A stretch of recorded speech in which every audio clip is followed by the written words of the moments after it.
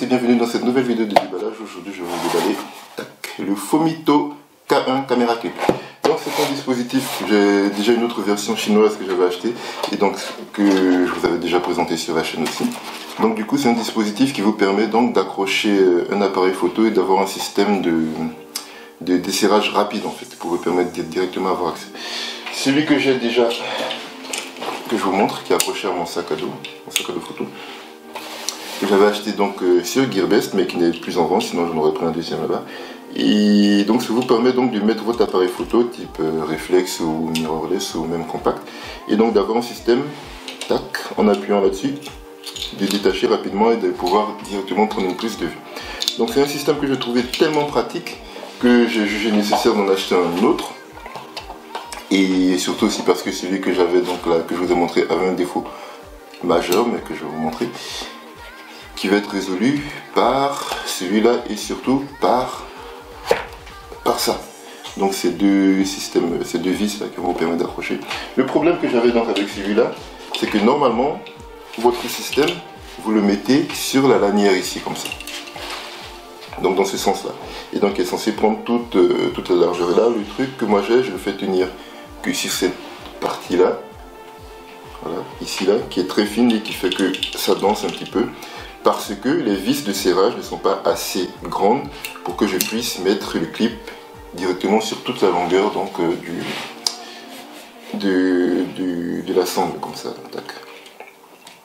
Donc du coup j'ai trouvé un autre qui avait la même fonction et surtout qui avait des vis plus grandes qui a priori donc me permettre de mettre l'appareil comme ça.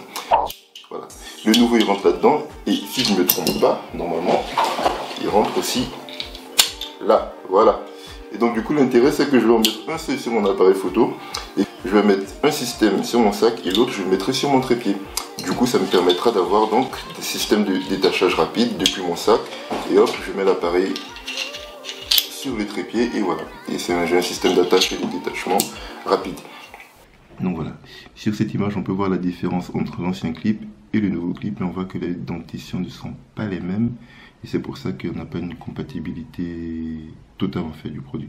Mais bon, ça, ça ne me dérange pas d'en utiliser un. Et puis, le jour où il pète, je verrai comment je pourrais adapter celui-là éventuellement pour l'utiliser aussi. En tout cas, le produit fonctionne bien. Ça, c'est quelque chose que je n'ai pas mentionné, mais il fonctionne très bien. Pour le moment, une fois que mon appareil est accroché à aucun moment il ne s'est décroché.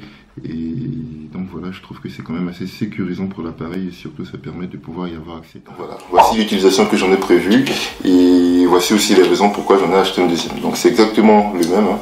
Un petit peu plus stylé éventuellement, plus stylisé, mais sinon c'est la même fonction. dans la boîte on va retrouver les mêmes accessoires. Donc la petite plaque avec la petite vis ici qui aussi a des trous pour accueillir une clé à 6 pans ça peut être pratique éventuellement. Sur ancien, on avait juste euh, une fente pour accueillir comme euh, des pièces ou des tournevis plats. On retrouve aussi dans la boîte un système d'attache pour GoPro. La clé à 6 pans. Donc le petit adaptateur qui va vous permettre de changer le pas de vis donc d'en dessous pour pouvoir avoir un pas de vis euh, plus grand ou plus petit pour le moment, j'ai eu à faire qu'au pas de vis classique pour trépied. Et enfin, dans la boîte, on trouve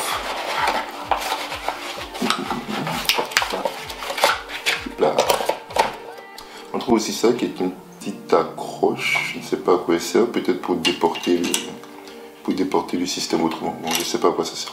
On verra bien. Mais voilà, donc euh, voici le produit, voici l'utilisation que j'ai prévu d'en faire. Donc le produit acheté 30 euros sur Amazon. C'est le Fomito K1 Caméra Clip qui vous permet donc d'avoir un système d'attache et de détachement rapide pour votre appareil photo ou votre caméra. Et donc le dernier accessoire que je voulais vous présenter, toujours en termes d'attache rapide, c'est le Peak Design Capture version numéro 3. Alors Peak Design est la marque qui a originalement lancé le concept d'attache rapide et qui a été copié rapidement par d'autres versions, c'était les deux que je vous ai présentés juste avant. Donc le Peak Design Capture version 3 a coûté sur Kickstarter environ 40 euros, ce qui est relativement peu cher par rapport au prix normal une fois que le produit était achetable sur euh, différentes boutiques. Donc il a exactement le même concept, donc c'est-à-dire pouvoir attacher et détacher rapidement son appareil photo en une fraction de seconde. Je vous montre. Alors on peut voir que le dispositif est déjà beaucoup plus petit que le concurrent que je vous avais montré juste avant. Voilà, il a exactement le même principe. Donc ici, vous avez la petite gâchette qui va vous permettre de libérer votre appareil photo rapidement. Vous avez les deux vis là qui vont vous permettre de fixer à la plaque derrière et donc autour de la lanière de votre appareil photo. Alors le Peak Design comparé aux autres produits est livré avec euh, deux longueurs de vis qui vont vous permettre d'adapter directement à des lanières qui sont comme celle-là un peu plus épaisses. Et contrairement aux autres qui disposaient on voit à l'arrière ici d'un pas de vis pour trépied le nouveau Peak Design ne dispose pas d'un trou pour le trépied. Donc c'est un petit peu dommage. Ce qu'on peut constater aussi comme différence c'est que les deux versions que je vous avais montrées avaient cette petite vis là qui vous permettait de fixer votre appareil photo une fois qu'il était dessus de façon à ce que même lorsque vous appuyez sur le petit bouton pour relâcher, votre appareil photo ne sortait pas.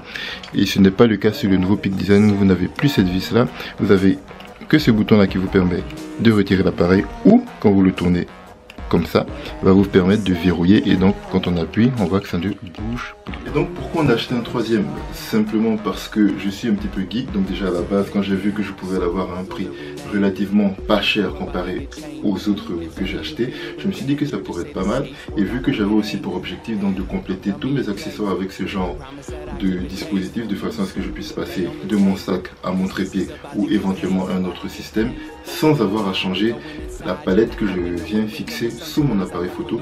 Donc il était, il m'a semblé important, euh, utile de m'équiper de dispositifs dans ce genre. Donc c'est exactement le même principe. Vous prenez votre appareil, vous le faites glisser là-dedans et vous voyez, je secoue, je saute, je tourne, et ben, l'appareil photo il est fixé et il ne bouge pas. Mais une fois que je verrouille, l'appareil ne bouge plus. je ne peux pas le sortir et même quand j'appuie sur la gâchette, il ne sort pas je déverrouille. Et là, d'une seule main, j'attrape mon appareil et mon pouce vient appuyer sur la gâchette. Et là, je ressors l'appareil et je suis prêt à shooter. Donc, c'est vraiment très pratique lorsque vous êtes en situation où vous prenez des photos. Voilà, vous, vous allumez votre appareil, vous faites la mise au point sur votre sujet, vous prenez votre photo, vous rangez. Et voilà, c'est fait. C'est vraiment très pratique, ça vous permet d'avoir les mains libres. Quand vous avez un trépied installé, vous prenez votre trépied, vous faites votre installation tranquillement. Et quand vous avez fini d'installer votre trépied, vous prenez votre appareil et vous le fixez dessus. Et c'est vraiment simplement par le fait d'avoir les deux mains de libre, ça vous donne une liberté qui vous permet de faire les trucs comme vous l'entendez. Et ça, c'est vraiment pratique. C'est pour ça que je vous recommande ce type de dispositif pour les attaches rapides.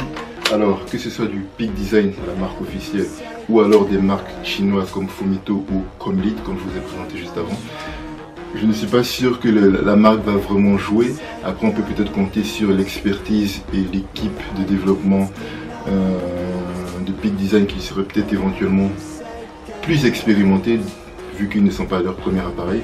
Mais derrière, le fonctionnement est le même et peu importe les appareils, ils ne m'ont absolument pas déçu et ils ne m'ont pas lâché. Je n'ai pas cassé d'appareil photo parce que j'avais un ou l'autre. C'est simplement pour pouvoir passer d'un dispositif à un autre rapidement que j'en ai pris plusieurs et aussi parce que je suis geek. Et donc forcément, si j'ai la possibilité d'avoir de la marque, je ne me priverai pas. Mais vraiment, c'est un dispositif que moi je vous recommande. Pour ça, avoir les mains libres quand vous êtes en situation de tournage, quand vous êtes en train de marcher par exemple, pouvoir avoir les mains libres dès qu'il y a quelque chose qui se passe, même sans regarder, tac, vous pouvez dégainer votre appareil. Vous pouvez presque limite le ranger sans regarder, mais c'est un petit peu plus compliqué, mais comme vous voyez, ça marche quand même. Donc, je vous remercie d'avoir regardé cette vidéo et passez une très bonne journée ou une très bonne soirée en fonction du moment auquel vous regardez cette vidéo. Je vous dis à la prochaine. Ciao, ciao.